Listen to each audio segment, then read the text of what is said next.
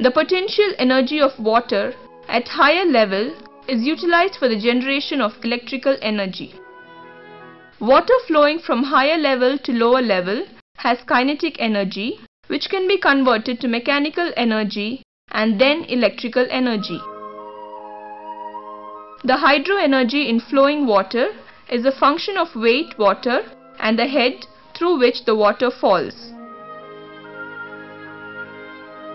The water stored in a dam has potential energy on account of its position or height above the ground level. In a hydroelectric power plant, the force exerted by water is used to drive a turbine coupled to an alternator which generates electric power. The water collected from the catchment area is stored in a reservoir behind a dam. The water under pressure is supplied to the turbine by the penstock made of steel or concrete through the inlet valve.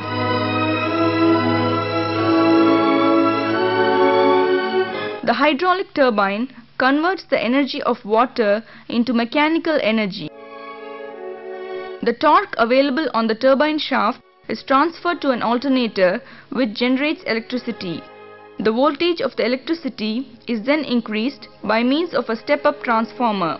Now the electric power is distributed through distribution lines.